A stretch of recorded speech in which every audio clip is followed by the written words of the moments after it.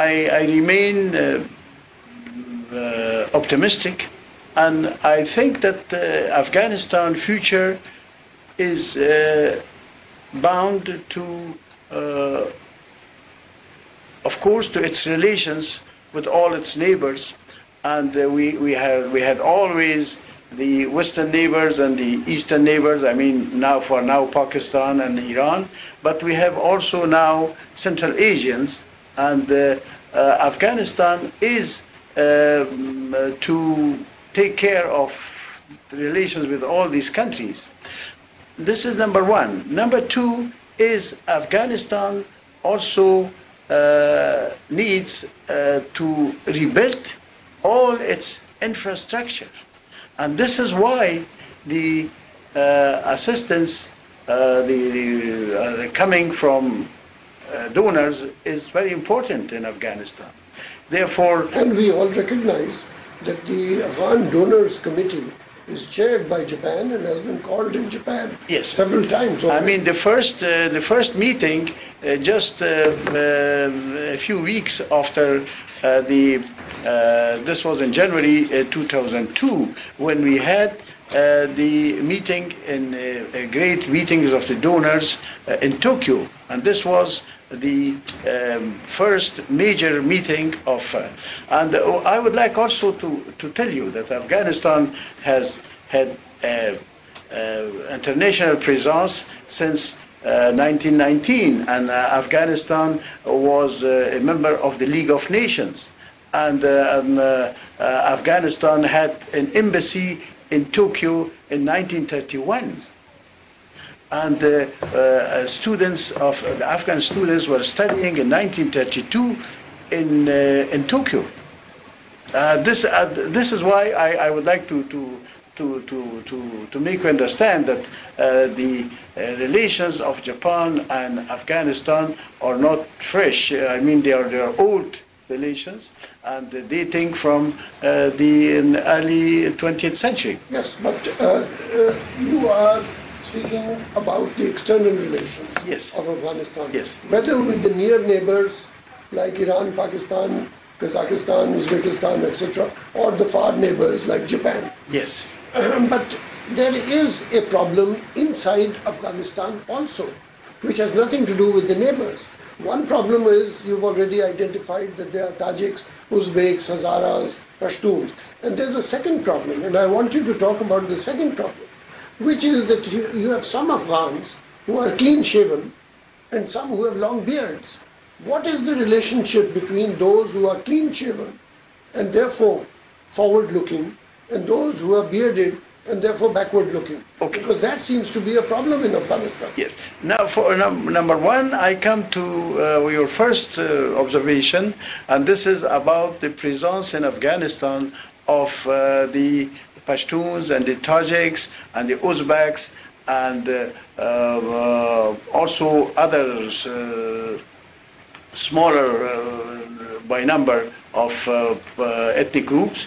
But uh, I assure you that there is good understanding between them and they feel belonging to Afghanistan. This is very important. Uh, I mean, if you, if you meet any Hazara leader or uh, Uzbek leader or, uh, or uh, Pashtun or Tajik, they would they, they, they, they feel that they are part of Afghanistan, and this is very important. This feeling, and also as uh, the Ambassador Haraguchi said, the sense of ownership. Uh, this they have this sense of ownership, and uh, they uh, for them even an ethnic group uh, belonging uh, Hazara or um, I'm not a Hazara, but if uh, I'm beside a Hazara, I consider him as having all the rights uh, as, as, as myself in Afghanistan. And this is the feeling of uh, all the Afghans who, uh, for uh, all the time, I mean, especially uh, in their resistance against the Soviets, where all the ethnic groups participated, also they became very much allied to each other. And in later, uh, when they had uh, the, they resisted against the Taliban, uh, which were also foreign elements. So that in that time also uh, the Afghans they became more united, and this uh, sense of unity is there. Uh, so therefore, it is not like it, it is much better compared to many other countries. Uh, in the world uh, of, of, that region. Uh, and now we come to the your second question. One, they are clean shaven, but but I assure you that there are people who have a sizable beard, but they believe in the necessity of progress uh, in today's world, and they are conscious about that. But of course, there are uh, some who, uh, with uh, uh, maybe with some links abroad, they uh, may feel that Afghanistan is a, in a uh, for, for them, uh, they, they, they, they, need, they feel uh, the need of reinforcement of religious thinking, but for many of them, in their case. Uh, they uh, have there is uh, uh, there is no distinction between uh, what is uh, the tribal customs and religion, and this is why this is really, but because of impact of cohabitation with in the region with Iran, Iran, and with um, uh, some uh, element, moderate element of uh, Muslims in Pakistan, and in, so there, there will be, I am sure, a, a, progress of a, the of an Islamic thinking, which is which uh, finds the necessity to participate in today's uh, world and in today's condition of the world to be uh, for Afghanistan to, and, and, and, to, and to be also uh, directed towards progress. Yes, but you have now made repeated references to others, to the foreigners, to the neighbors, to abroad, uh, uh, interference from abroad. Now, for 250 years, Afghanistan was considered a buffer between the Russian Empire and the British Empire. And the agreement was stay out of it, let's both stay back and keep it as a buffer. And that was responsible to keep Afghanistan together. But now we have interference from everybody in Afghanistan, including the United States. And so is it possible that the fact that others are interfering so deeply in Afghanistan, starting from the Soviet invasion and ending with the current situation, is it this external intervention which is creating all the problems between the beards and the non-beards, or between the Tajiks and the Pashtuns, or between different visions of the ownership of Afghanistan. How important are the foreigners in creating this situation in Afghanistan?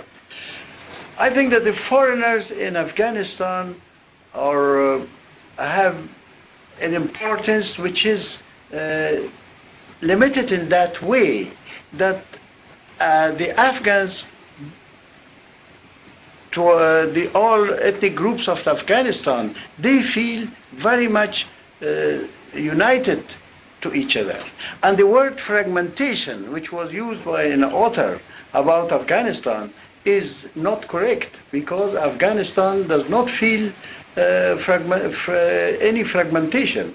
Uh, the Afghans, the, uh, if, if something happens uh, in, uh, in further Badakhshan in northeast, the people of Herat feel it very harshly. And this is also, so I can tell you that the foreigners in Afghanistan are considered as able to be people with, who, with whom you can deal. Because we had always in Afghanistan such foreigners who were so helpful to the Afghans. And we had all some of the NGOs who were foreigners uh, generally uh, uh, they are their behavior with the people is considered as uh, very human, and generally Afghanistan, which was never colonized by any country, is that they can have good relations with everybody.